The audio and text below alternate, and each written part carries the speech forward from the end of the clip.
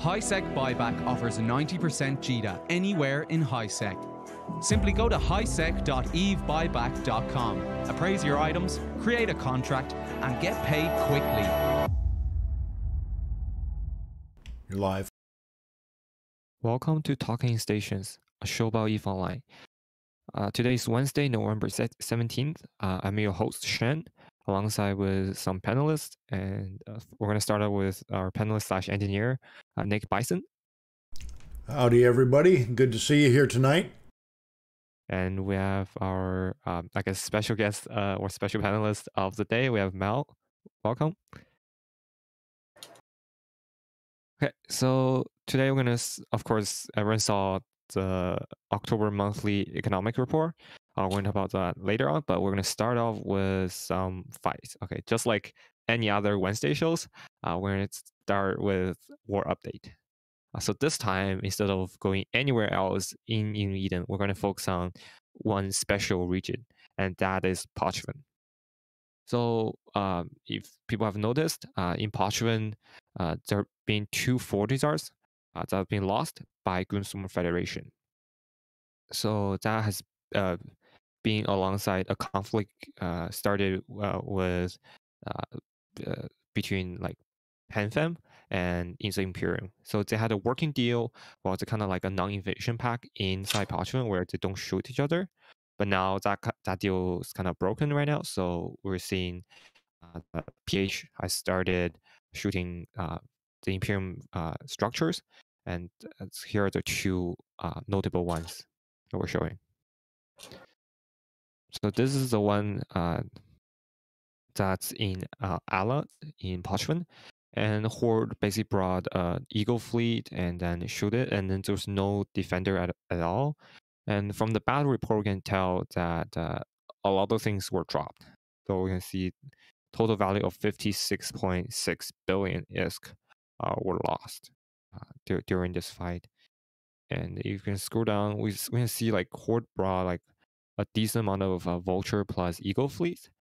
And uh, on the other side, Imperium uh, saw a lot of ships like those practices and those rooks um, were there, but uh, they didn't work too well uh, along against the Eagles, and is basically a blue ball type of thing. I guess it's fair to mention, you know, when you look at uh, the battle report, um, is it broke? I don't know that for sure, but uh, when I look at 600 uh, folks on the defending side, but 1,300 ships lost, there's a lot of those ships were kicked out after the uh, fort was lost and were just free shots. So you know, it's not as bad as it looks. It wasn't like just an old fashioned butt whipping, but it still was a loss. Um, they but they showed up, man, and they fought. Yeah, yeah. And I, and mean, you know, and I know we've mentioned this probably a half dozen times, but I think it bears repeating.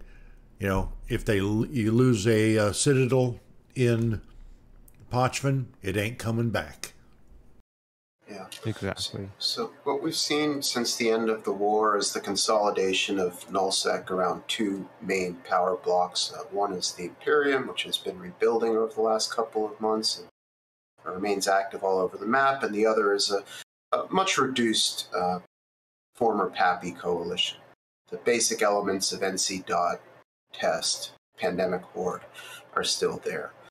Um, and these two groups have been clashing all over nullsec. I mean, these aren't, I think, very serious strategic actions. They're not deployments or anything, but it's often the case that one side will bat phone uh, Horde and friends, and the other side will bat phone, bat phone Goonswarm and friends, and they'll, you know, that's where these numbers have come from. So I personally have been in fleets where this has happened in the Great Wildlands and in, um, uh, what was the other? region. It's on the opposite side of the map, somewhere to the uh, uh, west of, of Geminate. Oh, Geminate one, yeah. Yeah, it's not in Geminate, but further towards you know Outer Ring and Sinq Laison in that Venal? direction. I, I, think there was a big fight there last. Yeah, it might have been. It might have yeah. been Venal, and so here we see it in Pochven, right? So these are three um, very widely separated territories where Horde and friends have clashed with um, uh, Imperium, and there are also there are constant skirmishes, gate camps, rival um, Astrahus is setting up in the in Low Second Forge, where both uh, areas, excuse me, both coalitions have a continuing interest. So the you know the war, in a sense, is not really ended. It's just simmered down in it. I could say. It's it's moved location is what we're really seeing. I think. You know, they're Yeah. they're still skirmishing with each other, you know, and attacking assets, but nothing critical. I don't believe in my that goons think Pochven is critical to their survival by any stretch. It's just a No, cool don't. place. I don't think they care all that much about it. I, I think Horde does care a little bit more about it. Horde has a um, a, a Pochven Sig, and it's pretty active. Um, but yeah, we, we've seen these uh, continuing conflict between these two sides, just much lower intensity. Nobody's invading or talking about exterminating the other side, but they're still fighting. Yeah, and also this is a good way to generate some good content for both sides as well, right? There are timers showing up in different areas, and if both sides decided to, to form, then maybe there's a chance of a really, really good fight uh, with both sides with great numbers, and then maybe you see a lot of destructions, which means that uh, it's the industry parties come in, and it's a whole chain of uh, reactions uh, fr- from there on. One of the things I noticed uh, in looking at both of the battle reports, in both cases, you know, Hordes bring in that Eagle fleet, you know, the reinforced Eagle fleet, and especially when you're looking at a mock, you know, you've got a much smaller group and uh, a much more diverse. You know, in the old days they used to be mean and call it kitchen sink, but you know they they showed up and they fought. So, you know, didn't didn't turn out real well for them. They lost another fort, but by God they were there, and that's uh, more than you can say for me. I was at home, or actually I was at work. So um, you know Yes. what the heck. So I wasn't in this fight, but I have been in some other ones where Horde and, and friends on one side and Goon Swarm and friends on the other clashed. And, and Horde can usually outform Goon Swarm for these fights, but not always. When uh, Horde backed uh, Federation of Respect, Honor, and Passion Alliance, and Venal, is it? Uh, dot RHP. Uh, yeah, sure. RHP. Well, in, in that corner of the map, anyway. Um, and Goon Swarm and friends backed Volta. Uh, we got pretty heavily outformed. Actually, had to got chased out of the region, and I don't think we we tried to uh, to assist RHP again after that. So it's not hundred percent that Goon Swarm, can, excuse me, that Horde can outform Goon Swarm, but it often does happen. Well, I don't, you know, and we got to go back to I don't think Pochven's a strategic interest to the goons overall, um, or to Imperium. It's a nice place to go play, and you know they have some, you know, good chance for some ratting and some looting, and a few fights here and there. So, you know, hey, more yeah, power these, to these these these fights are just about content, as near as I can tell. I don't think Horde really cares all that much about most of these. Although, as I said, I think they are a little bit more invested in Pochven because of the phenomenal PVE opportunities there, which we've discussed on prior shows. And also, I guess it's worth to mention that uh, I mean it's not a recent change anymore, but the latest change to the rules on the gate, where it makes uh, it's accessible for players with even without standings. So I guess that made like moving around fleets much easier for those blocks. Yeah, I it's still really think they're gonna. Sh- they're still going to shoot me if I show up. I don't think the Trigs like me at all. So, So it's Yeah. really important to get your standing up, even if it doesn't matter that much, but it still matters. Yeah, at Yeah. the time when they announced those changes, I felt like the people who had fought for the Trigs during the invasion or who were willing to put in the work for them should have some privileged access to the space. And I didn't really want to see that change, but um, it has opened up the area considerably. And from everything that I've heard from people in my corp and alliance, um, if you want to do some PvP and not get blobbed or dropped on by supers every time you start having fun, Pochven is where you go.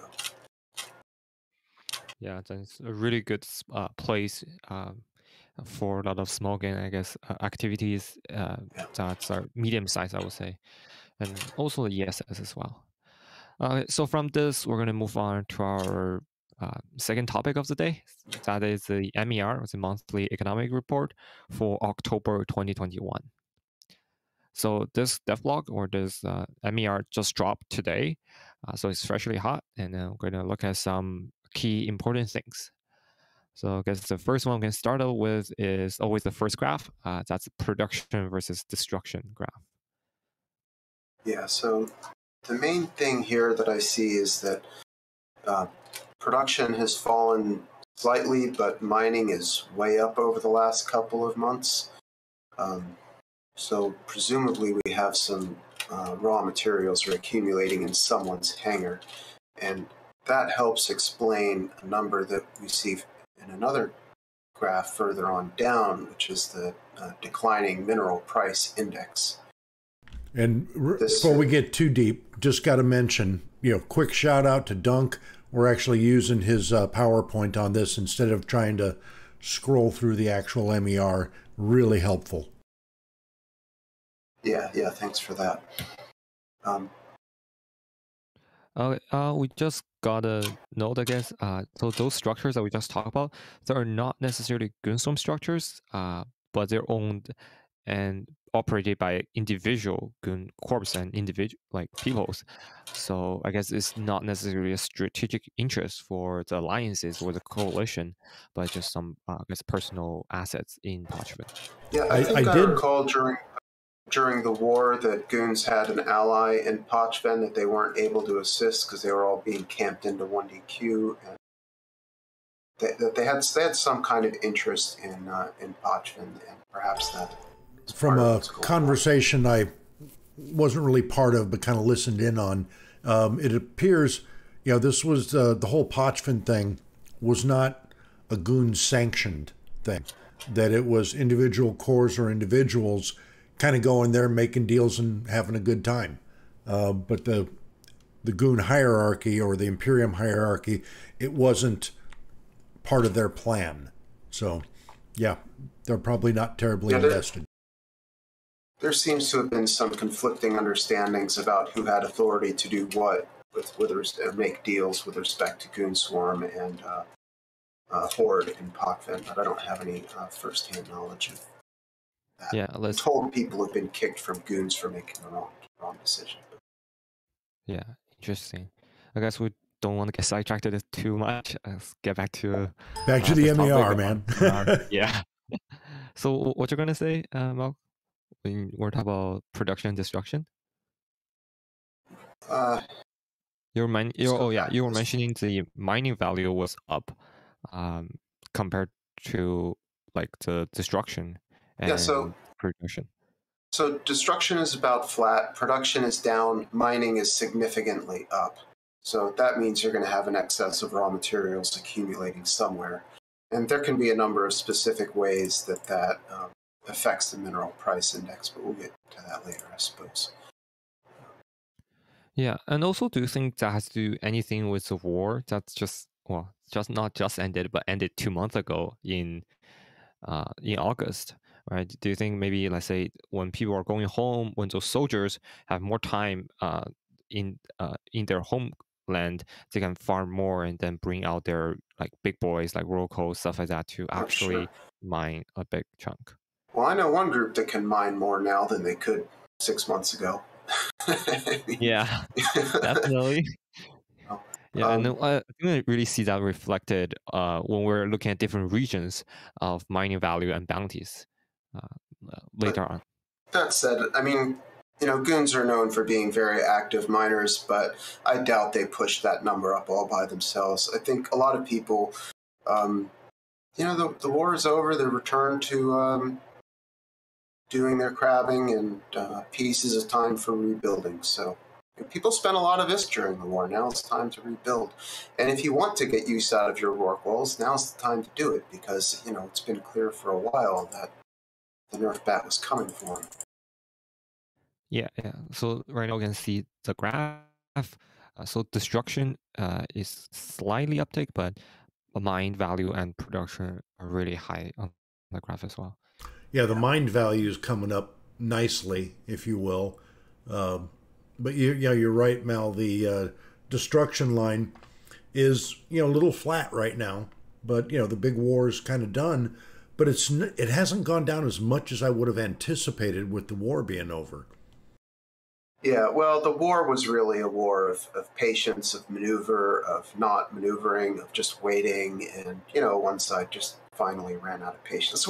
Way it usually happens, you know, the invader has the pressure to overcome the adversary. The stalemate favors the defender, and you know, in this case, um, the defenders were able to outlast the invaders. But there's something else about this graph I'd like to draw your attention to. If you look at the production numbers, you'll see that you know there's that big spike around April and May. That, of course, is everybody rage building dreadnoughts and titans before the BPO changes could hit, and you would expect it to fall afterwards. But look, it's never recovered like anywhere close to where it was before. The high point of the graph after the BPO changes is lower than the low point before. And that indicates the impact of those BPO changes on production numbers. Yeah, a lot of know, people have simply exited the, the market. They're not doing anymore. Well, the this is, you know, the production, the red line for the folks that can't read the little tiny print um, yeah, it, it's dropped dramatically, but it's also in ISK value. So, you know, there could be, you know, for one, the cost of one dread, you're talking, you know, half a dozen well fit hacks. So the actual number of ships has probably not gone down, but the number of large ships, your, your caps and supers, has has dropped like a rock. I don't know. I'd love to see a production number on that because I'll bet it's it's near zero. Well, it would definitely be nice to see a decomposition of this graph. You know, here's the subcapitals, here's Tech One modules, here's Tech Two, etc. That would be, you know, very useful information. I think it's reasonable to speculate that a lot of that um, fall off is the end of suicide dreads and um, you know, ratting supers and stuff like that. Because remember, it's not if you're out there ratting in a super, that's a super that can get destroyed and then has to be replaced later on, right? Well, people aren't out there ratting in supers anymore, so that those ships aren't being blown up. They don't have to be replaced either. So, um, you know, this number has remained significantly down. Maybe that was always part of the plan. It shows the impact of those BPO changes. Yeah, I, I have got to agree with you on that 100%. That the the bulk of the drop in production is, due to the the the massive change in industry and the difficulties involved in building the large ships now. Yeah, just to answer chat. Uh, so we're what we're looking at right now is the MER from October. So this is the the, the dev log about Rorqual changes and everything just dropped uh, last Friday. So which means that when this whole graph happened, it, we have no idea about the dev blog. So it's not people rage uh, mining with Rorquals to just ramp it up before the changes come to TQ. It's just normal daily stuff before we know that there's going to be a change to Rorquals and orcas and all those um, from extraction to destruction dev blog. Right. So these numbers show for the month that the graph ends at the end of the month of October. So it doesn't account for the last two weeks. Nothing from the new dawn update or any of the controversy around that will be reflected in the numbers. Which, which that said, uh, that being said, we're going to look somewhat of that effect in this month uh, uh, MER, which is going to come up probably next month uh, in December. When we're looking at the November MER, uh, maybe we're going to show we're going to see some reactions uh, uh, from miners from producers about the new changes that's going to come to tq and is there anything else uh, some key points they want to mention mel? Yeah let's go down a couple graphs here i'm following you on the, the stream. Um, yeah where do you want me to go? down to um, it's one of the last graphs money, excuse me, mhm. velocity of ISK about two thirds of the way down.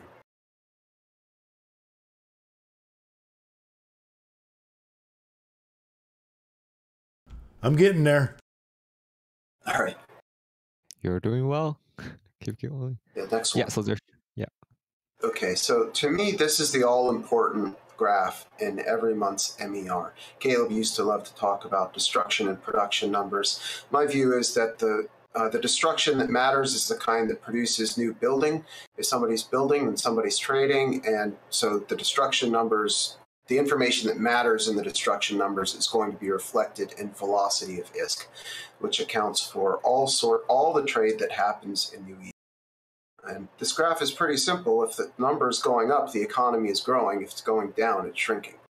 Um, That's in, uh, say, in layman's term. In layman's term, the velocity is because basically is that money changing hands from me to you to somebody else? Is that the turnover of the that ISK unit, or how do you how would you explain velocity of ISK to someone like me? Sure. So um, Velocity of ISK is the rate at which ISK is trading hands between players. So let's say uh, you build orcas in Sinq Laison. Is that right, Nick? I've been known to do that once or twice. okay, so um, so let's say that you're building your orca and you run out of tritanium in your hangar. You say, "Oh, I, I want to. I'm not going to hold up my entire production line just so until I can mine some more tritanium. Let me run to market real quick and get some. So you buy some tritanium into Dodixie and you bring it back. This trait changed hands there. That's reflected in the number. Then you produce the Orca, you take it to market, and then somebody buys it again. Then again, that is changed hands. So it's not how much ISK there is total in the game. It's how rapidly that ISK is circulating. Now, the more rapidly ISK is circulating, that means, you know, the more buying and selling is going on. People tend to buy more when they feel confident that they can earn more. You know, you're like you're not going to mind splurging on a faction module or better a better ship if it's for example during an event which you think is lucrative and you're out running the sites, you get 50 million for this one, 70 million for that one. Well, you could pocket that ISK, but a lot of times what people do is they upgrade their ship or they buy some new boosters, get a skill injector, whatever. You know, they further their goals in the game. So when people feel that they can make ISK, they tend to spend it more quickly. Uh, and that's why I say that when that number is growing, that means the economy is growing. But if you don't think you can replace ISK you spend, well, you're going to think twice before you spend it, right? So when that number declines, that means people are holding back. They're putting off purchases. They're deciding that, you know, hey, maybe I don't need a faction armor hardener. Maybe I'll just deal with the meta one for a while or tech two or what have you. It's slowing down key activity in the game. And all activity in EVE is in some way related to the market. That makes velocity of ISK a very good indicator, not just for the economy, but for player activity in general. Question. So, uh, let me I, yeah. let me kind of ask you one on this here because uh, I'm with you. I understand where you're going with that. With you know, especially when you look at you know the beginning of August when the war, the the big war, because let's face it, there's still folks up north and down south scuffling daily. But when the big war sure. quote ended, at the end of August and you're seeing a steady decline of the velocity of ISK, how much do you think that the folks just resettling back in, you know, and, and not venturing out a whole lot yet has to do with that? Well, I'm not sure how much of an effect the, the war has had on this because, you know, there wasn't that much destruction in the war, really. There was M2, that was a big one. There were a couple other real big fights, but it wasn't a war where people were just constantly duking it out back and forth. You know, everybody reshipping a third and fourth time to uh, manufacturers struggling to keep up. It was it was a war of patience and of boredom, weaponized boredom, frustration, I suppose you could say. Um, but it wasn't as destructive as one might have thought for one of the the largest, I think, war in Eve Online's history. Um, the way I read this this graph is that you have the summer slump in June and July, which is brought about by a, a, combination of things falling PCU numbers, just fewer people in the game because it's summer, also because you have people um, checking out because BPO changes, you have uh, lifting COVID restrictions, all the reasons we've discussed before. And then you see a partial recovery in August uh, with the COVID, slump, excuse me, the COVID restrictions are, um, well, the novelty of that has worn off. Um, people coming back to the game. And there was also, there was an event around that time that was fairly lucrative. I've so that's called uh, the Grand Heist event, I think. So that's a time while during that entire week, CCP were giving out free ISK to people. Yeah, that's right. Around like 200 million per account, uh, something like that. Yeah, so that right. created a lot of ISK for people, whereas they can just spend it. Like if people with like multi boxers, maybe have like a lot of like billions worth of this that they just got freely from CCP, and they can just spend all of that to buy ships, equipment, whatever they want. That's right. So there was there was an event. There was the uh, uh, I think CCP was like 285 per Omega account, something like that. There was a tax holiday around this time. There was a lot of things pushing on the economy to get it going in the right direction. But as I think you pointed out at the time, Shen, there was a question of are we seeing a genuine recovery in the sense of a return to economic health? Or is this just like a drug where you know you get the effect? You you stop getting the effect when you stop injecting the drug, right? Um, and I think we can see in the months since that it was really a result of the kind of temporary uh, actions that CCP took at that time. Uh, it's still not as bad as it was during the summer because we're out of the summer slump, but it has been a steady downward trend um, since that recovery. And I think, you know, the reason is that the fundamental problems, the things that are still unpopular with the players, are still there. You know, Well, it would be interesting to see come November or in the November MER what change that's going to have, or even if the proposed changes, which I guess are wildly in flux, we're going to get to that. Um, you know, what effects that's going to have. Yeah. Well, we're already halfway through November, so if they release it, let's say something hits tranquility within a week at the most, then you'd still have about two thirds of, excuse me, a week at the soonest. You'd still have about two thirds of the month would would be over. But you can you'll be able to start see people people's speculative reactions to the new dawn. Yep. Is there another graph you want to look at, another chart you want to hit on? Uh, just about this one, I have one more thing to say, which is we saw the reverse of the tax changes at the end of uh, October. That's right. So, so yeah, maybe so that's at the very, I think not the very end, but like somewhat close to the end of October. So that may not have like a whole bunch of effect on October's MER, but we're going to be sure to see a lot of effect of that in uh, November. So that's a change where CCP reversed. Well, not it's not completely reversed, but higher the tax uh, compared to the three months of holiday tax that we got, uh, which means that trading right now may not be as lucrative or may not be as profitable as before or during that three months. So maybe we're going to see even slower velocity of ISK um, Yeah. after that. That's possible. CCP has changed the tax system a couple times over the last 18 months or so. I've kind of lost track. But yeah, the holiday ended, then they implemented a new system. Under the new system, there's a higher nominal fee, but if you have your skills maxed out, you pay less than you would have before because the skills are more impactful. And if you're a serious trader, you of course have accounting and broker's fee and all that to five. Now, uh, Ali in Ali Rigged in uh, chat asks uh, if the Plex has anything to do with the velocity of ISK. Is that that would still be considered a commodity changing hands? Is that a correct statement? Yeah. Yeah. So if, if you put Plex on the market and I buy it, then I'm I'm giving you ISK in exchange for your Plex. So that Okay, so that that is built into the velocity at that point.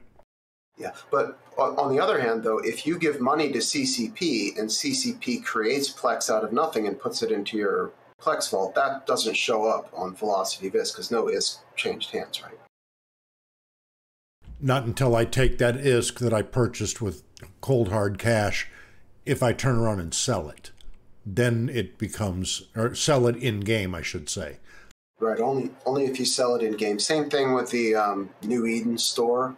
You know, if you buy Plex, Plex from CCP and then spend it on a skin or a outfit or whatever for your character, that doesn't show up on the Velocity of ISK either. All right, cool. Any other graph you want up? Uh, just real briefly, the next graph. You can see here um, that big yellow line there is the mineral price index. As you can see, it was crazy high a couple months ago. This this graph is very compressed, so one one cell is a year, right? So that spike was the uh, rage building capitals and super capitals that was already quite high before that happened due to the um, redistribution. Remember when they they put Nocxium and uh, Isogen and Lowsec and uh, you know they redistributed the uh, the minerals. So it's already pretty high because of that. Then on top of that you got bpo changes which were announced about a month in advance. So everybody who could spent that month building dreads and supers went even higher. And um, it's it's been falling since then as this number excuse me as this shows. But because of the radical compression of the graph it looks like it's falling very steeply. In fact um, I think there's a less compressed. Well, it's still uh, much farther ahead, or you know, higher than it was, you know, shoot, a year and a half ago. Yeah, can, can you uh, move over to the next graph, please? Next one down. Yeah, this is much same graph, but much less compressed. Um, here, each one of these cells represents a, uh, a month. So you can see it's still sliding. It's still very high compared to the historical average. Likely it will never return to where it was before uh, started climbing in June of 2020. Because, you know, that was the whole point of this scarcity era was that uh, minerals were too cheap before. But, um, but it is still quite high. And I expect it would, even if there were no ecosystem changes, it would probably continue to slide gradually for some time yet just because these minerals are no longer being absorbed into capital ships, which is one of the main places they used to go. People aren't building them anymore, and even if they were, they wouldn't uh, require as many minerals. Yeah, so to just explain what that orange line means, that's mineral price index, uh, which is basically generally the price of minerals. Right. So with the blueprint changes, it lowered the amount of minerals that are needed for battleships, for capital ships, which means that um, they're less needed, which means that the price is uh, going to go down. Uh, but since the price was already already very high, uh, even it's go, going down, it's not as low as it, what it was before. Yeah, so I expect that number will fall further um, partially due to weak demand, partially because I think that even though there's some controversy over New Dawn, which I guess we'll talk about in a moment, uh, CCP's general intention seems clear to bring about, you know, that age of uh, prosperity. Um, and, and just one other note about the mineral price index: it's because minerals have gone out of capital and super capital ships and they're not as important to the economy in general as they used to be, but they still go into an awful lot of things. And if you were going to look at just a handful of goods in order to understand the direction of the economy, then you know tritanium and mexallon and pyerite would still be pretty good things to look at. Yeah, with that, um, so that'll be our like uh, short analysis on the MER, and then we're gonna move on to our final topic of the evening, which is interview uh, with CCP Rattati. So uh, Mel, I think you have read this. Can you give us like a brief overview of what they talked about? Yeah, so I've read this a couple times, and um, I think you know the TLDR here is that um, your uh, Rorqual and Orca changes are not going to be reversed. That's what he says here in so many words. So if you know if you're out shooting the monument because of that, then sorry, sorry, that was my bad there. You know, so if, if that's what you've been protesting, or if you know you're hoping to see change, I don't think there's any realistic prospect of that. Um, then there's also the waste and uh, compression mechanics. Those things look like they're in for some revision, and we can talk about these in more uh, detail if you like. Well, I think one of the huge takeaways, even before this uh, came out, was you know when they first came out with the uh, the blog on what's going to be coming. You know, part of it they were asking, "Hey, get on SiSi, test it out, tell us what you like, what you don't like. Here's where the thread's going to be." And I think you know, yeah, the initial rollout and expectation was not handled optimally. I'm being very polite, but they've been very responsive. And as far as when I say they, CCP, of taking feedback from the players and from CSM, and you know, and here they're coming out going, okay, you know, we, got to make some adjustments to this, but there's a couple items like you mentioned, Rorks and Orcas, like nope, we're not gonna, we're gonna kind of dig our heels in on that one. Yeah. So uh, one thing I've heard and read quite a lot of over the last couple of days in the discussion around um, these new dawn changes is that CCP doesn't listen. And so even though they say that we should go on SiSi and test things out, and they make a big show of caring about our feedback, really they don't. It's all just window dressing. And you know, I haven't been playing this game as long as maybe some other people who are, I guess, a bit jaded, but it's not clear to me that that is an accurate characterization. Uh, players said we don't want uh, standings locks on the gates in Pochven. They're gone. Players said we hate Cloaky camping. Cloaky camping has been significantly nerfed. Players said we hate dot one isking and Jita. It's gone. Players said one of the first things I remember hearing about the ecosystem in Jita, excuse me, in uh, this game is that Rorquals are out of control. They're ruining everything. There's no loss has no meaning. And here, you know, they've been hit with a Nerf bat. Actually, this is the second or third time over the last couple of years that they have been. So, you know, EVE Online is a vast gaming product. It's not really possible for them to f- fix everything. See, let me just go back a second. EVE is not really one game. It's like 12 or 13 games that all share the same code in the same community.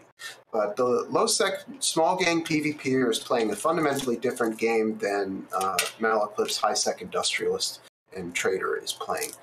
And, you know, so they do what they can, I think, with limited resources. Also, they they can't devote their entire efforts to responding to players' uh, requests. They've got their own visions and goals that they're pursuing, as we've seen with the revamped new player experience, which players have also complained quite a lot about. So it's not obvious to me at all that they don't care about player feedback. And they say they put this stuff on SiSi because they care about getting that feedback. And I, I tend to believe them. That doesn't mean you're going to get everything you want it means they're listening. Tell you, so, yeah, and you know, and, and as far as listening, you know, and and I definitely uh, recommend folks pull this thing up and read it if you haven't. But also, uh, Dunk did a write up, which is mentioned in here also, on basically the good, the bad, and ugly from his point of view. Pop over to his page and read his blog on it too. It's some good insight. You don't have to agree with all of it or disagree with all of it, but the man puts it, it's well constructed, well presented, and uh, you see the other sides of the story that you don't always think of. But I'll, I'll post that link also for you. Yeah, so um, Dunk says in his write up, which is quite good, that um, he voices one of, I think, the more consistent complaints about the New Dawn changes, which is that uh, he says Players who own Orcas and Rorquals are owners of ships that don't justify their build cost. Only the safest and wealthiest areas of New Eden will see these fielded, further pushing the player meta to join only the biggest and most powerful groups, reducing diversity in corps and alliances. Uh, well, okay, so here we have, you know, the obligatory. What about the new bros? I think the real issue here is that the orcas are, excuse me, porpoises aren't, Rorquals aren't going to be the monster miners anymore. Um, are, are do, is it true that these people now own ships that don't justify their build cost? Well, uh, I, I feel like uh, maybe like from another perspective, which is for future Rorqual pilots who are looking at getting into Rorqual, are they gonna justify their cost? Right, for people who had their Rorqual, let's say, just survived uh, over the few years during the abundance era, uh, I I think pretty much they have earned their cost back. Like to somewhat of a degree, right? But the people who are really uh, hesitant about it are the people who are or who just got a Oracle or or who are looking at it or just have like enough ISK, like just just the right amount of ISK, thinking, should I invest the ISK into a Oracle? Should I do it on a Dread? They're all just standard capital ships. They cost not that much different. So what should I do? I think there are the people who are somewhat hesitant.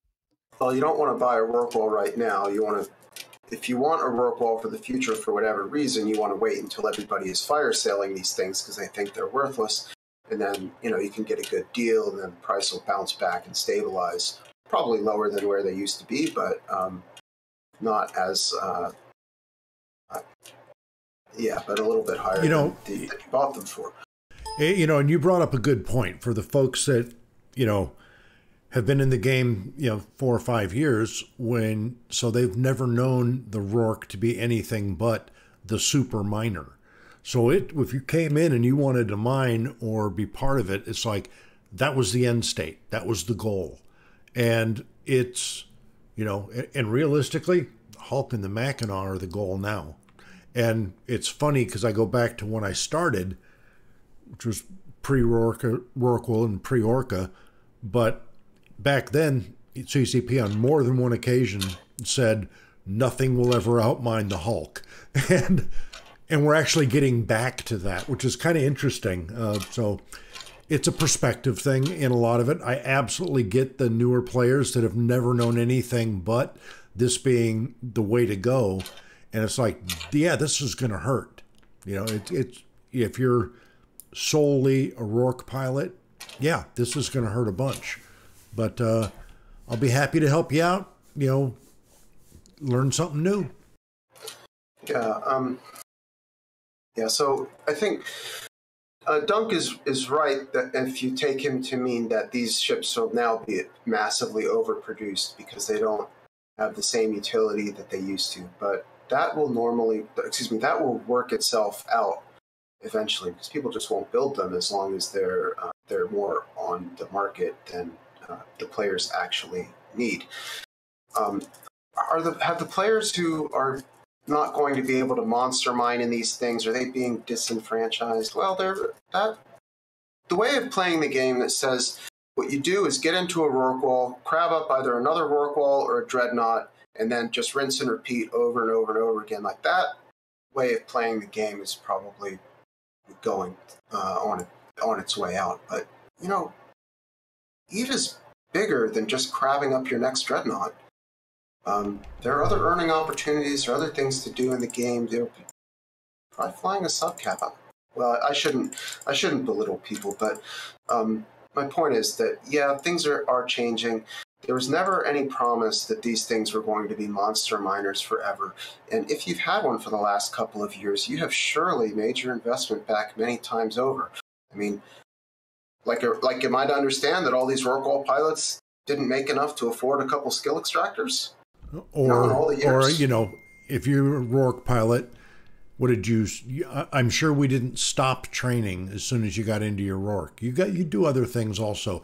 It may not be your primary focus, but you know, anyway, read the yeah. article, so, check it out. So uh, I'd also like to talk about um, CC, uh, Rattati's stated reasons.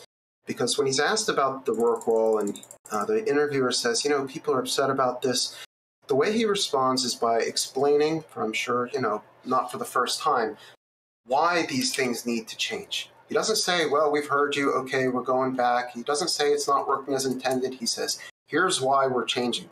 That to me is the strongest indicator that, you know, they're not going to budge on this. Um, so he says,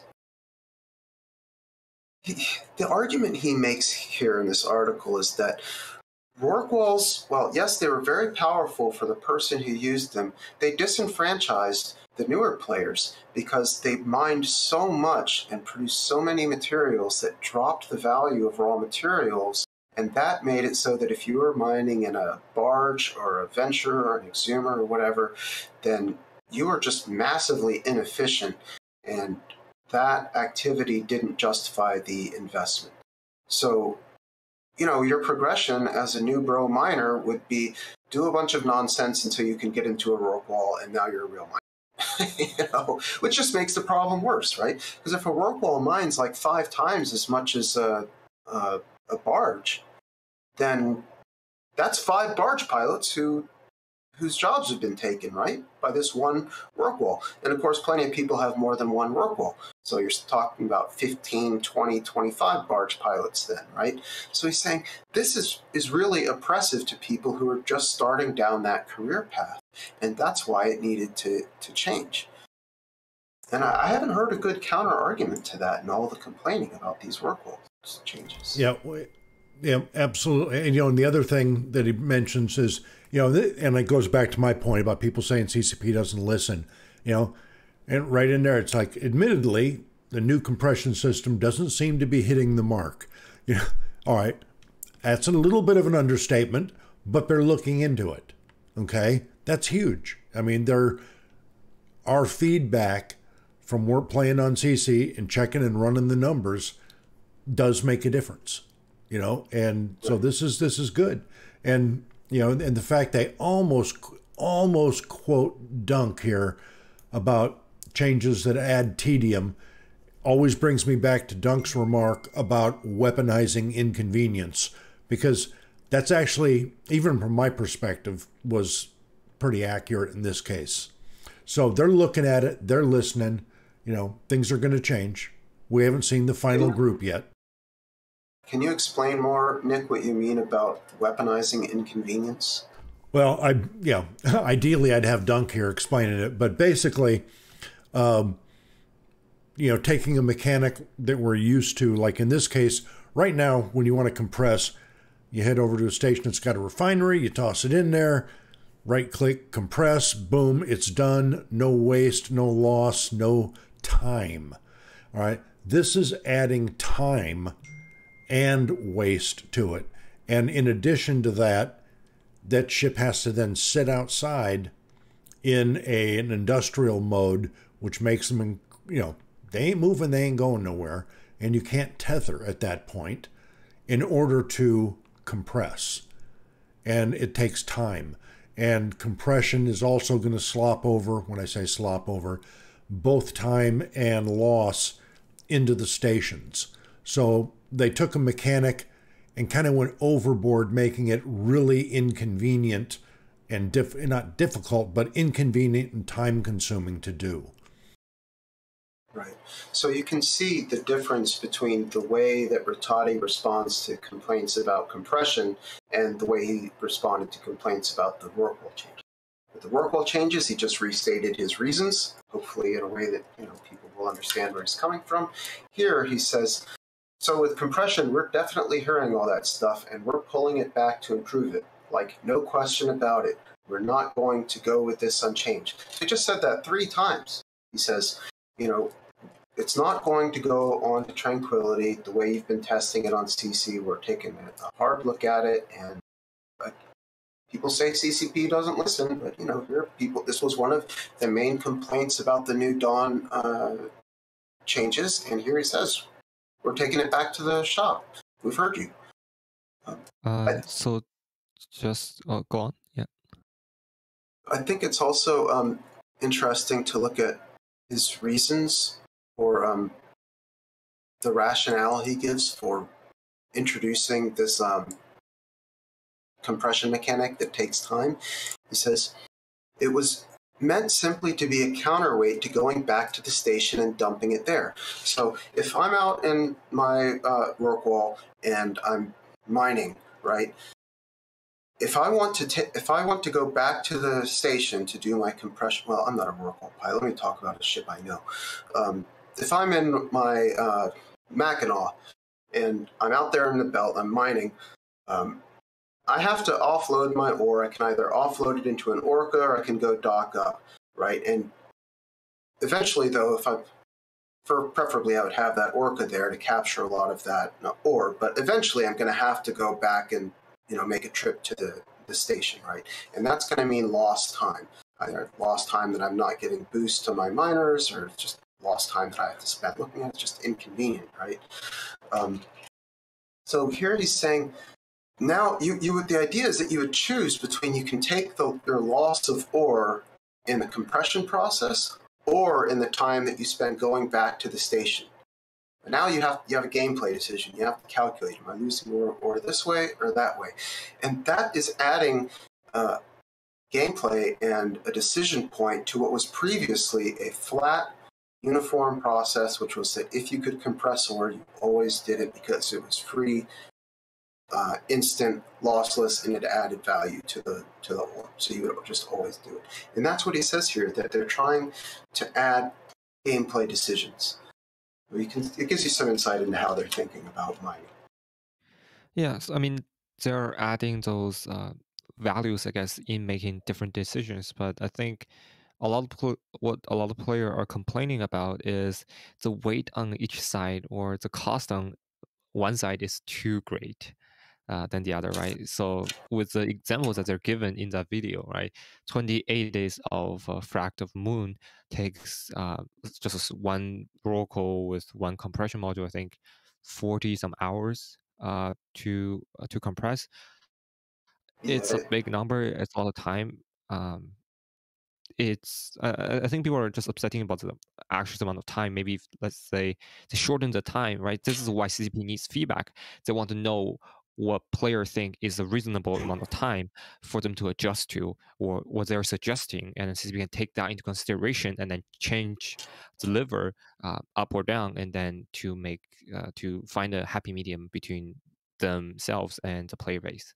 Yeah i expect that the time compression will be reduced significantly um, because the the complaint here seems to be a valid one. I haven't heard anybody offer a, a strong uh, rationale really any rationale for why it should take this long or that it or that it is taking uh, too little time.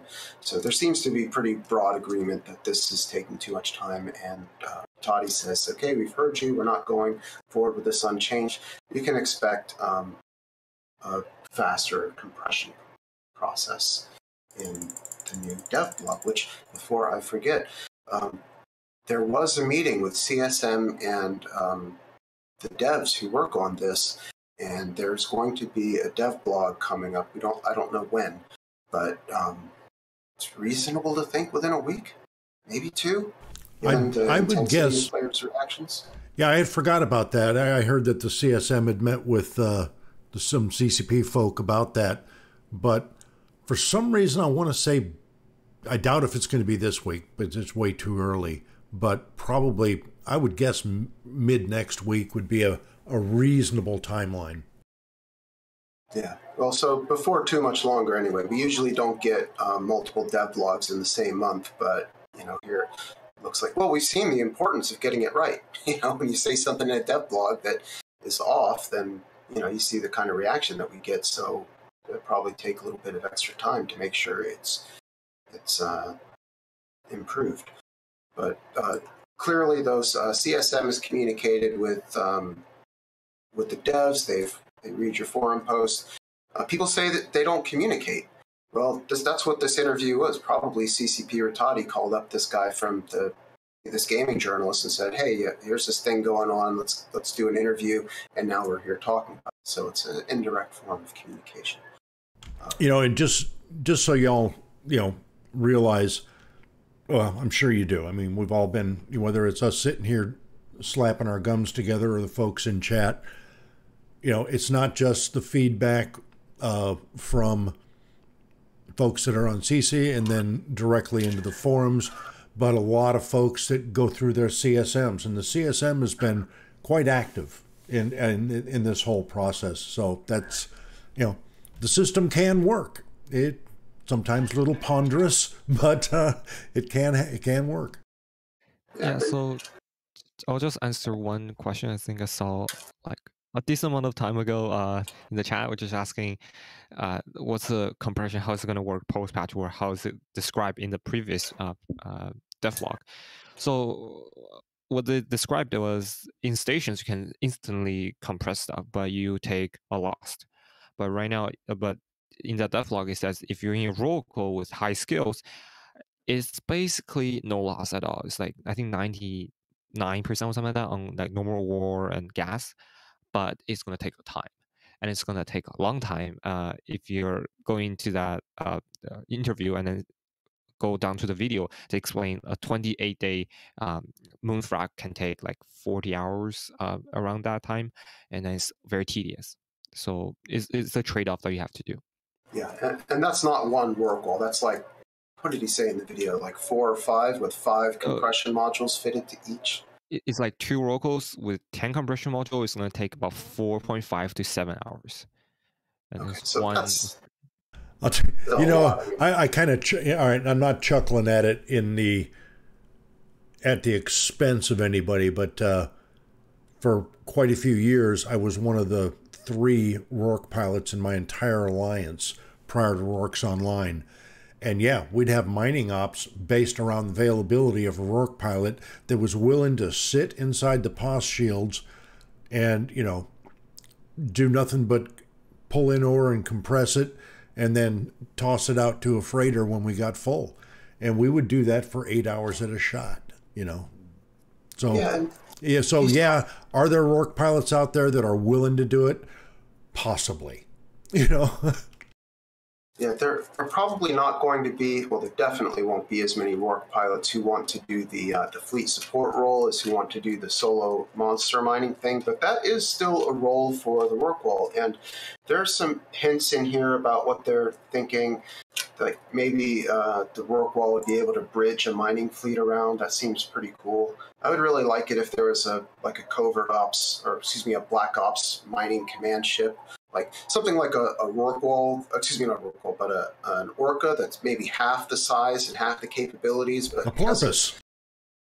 well, but has a covert ops uh, cloak and a jump, a covert ops uh, jump bridge. Oh, generator. okay. I, I see what you're saying. Yeah. So, like, ninja maybe- mining. Maybe, maybe, yeah, like maybe if the um, your your enemy has a good moon, but they're not quite keeping their eye on it, you can jump in the fleet real quick and mine a bunch, and then you see one of them come into system, and you figure, okay, you start the clock. We got two minutes to get out of here before they can, you know, form to wipe us out, or you know, there could be some cool gameplay around that. Know, with the newly introduced Type C crystals, right? With all those like really, really high waste and high yield uh, uh, crystals, or low yield, I guess, uh, and then high waste crystals, that can be really viable, I guess. In, And, in, uh, a, in also, a it- scenario like that, yeah, you're absolutely right, Shen. I didn't even think of it in that respect.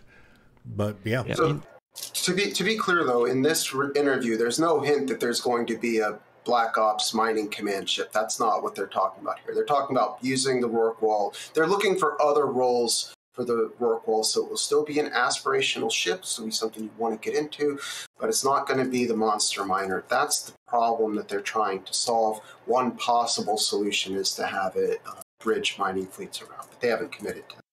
Yeah, or jumping. I think it's, going to be similar type of thing as the Black Ops battleship's uh, ability that they newly introduced in the last uh, Black Ops uh, change patch, which is you can jump with your entire fleet or with like vicinity amount of uh, let's say miners, uh, mining ships around you. You jump the entire fleet to let's say industrial cyno or just normal cyno. Uh, I, I think that's the way they're going. It's just my guess, uh, but we will have to wait and see. Yeah, and when they when the Rorqual was first introduced, um, it was pitched as this is going to be your, you know, capital industrial ship. You're going to load up the bay with, uh, you know, your fleet hangar with mining ships.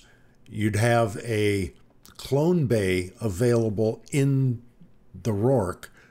People would put their clones in there, jump the Rorqual into the space they wanted to mine.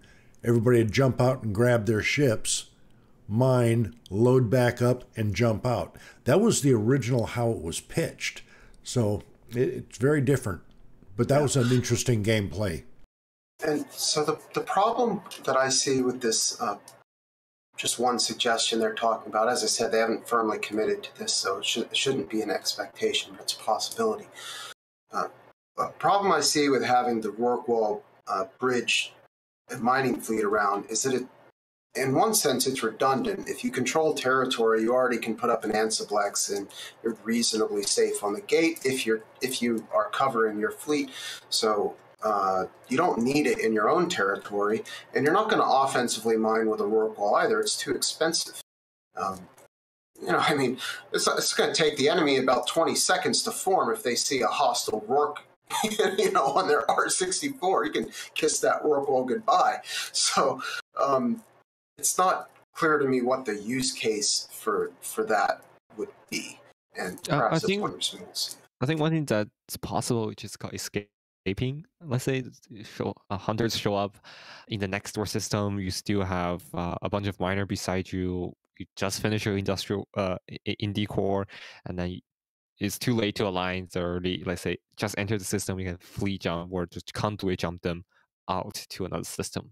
That may be a possibility. I guess. Yeah, maybe you could use that for um, for LoSec, right? Where that's where a lot of the mining value is right now, and there are areas of LoSec that you know who controls it depends on what time of day it is.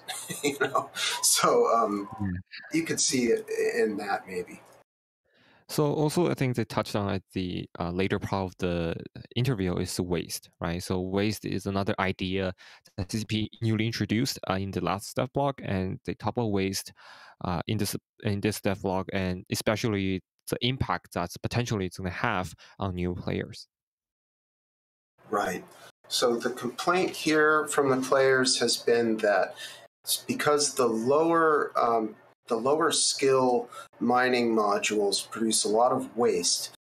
You're not going to allow the the uh, newer players to mine the good ore because they're going to screw it up by wasting it with their you know inefficient mining modules. So that is a nerf to the new bros, and that's what you know a lot of people have been saying about that. Of course, you. No. You know, Yeah. they, they'd be mining the exact same amount that they would today. Be, we, assumption that rock doubles in size. So if, so if rock's 100 today, it's going to be 200 tomorrow. And if I'm mining with 100% waste on the module, on you know, I'm still going to get my 100. That second 100 is going to go away.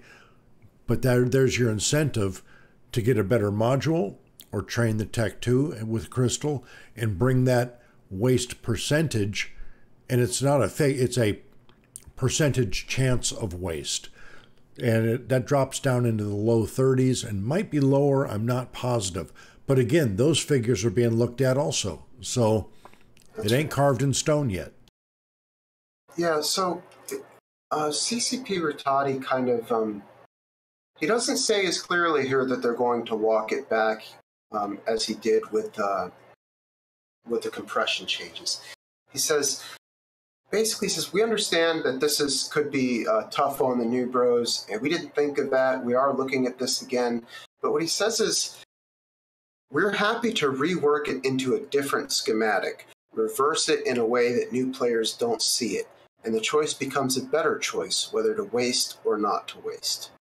So that suggests to me that they're going, they're rethinking this mechanic, but it, it's not somehow like it, it could persist in a different iteration, but not as uh, visibly, right? So there was a Hobo Leaks uh, drop over, the last couple of days that showed the uh, waste attributes simply being removed, and some people said, "Oh, well, it's going away entirely."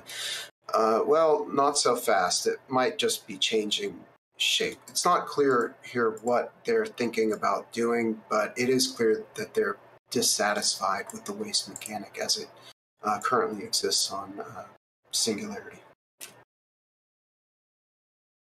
all right and- anything else on that shen what did we miss man I think we touched on the three biggest topics that they uh, they talked about in this interview, which is just do a recap. Uh, the code uh, being left out in some way, right, during this patch, where people who bought it felt like it's not really worth the value, and uh, and CCP is looking into that.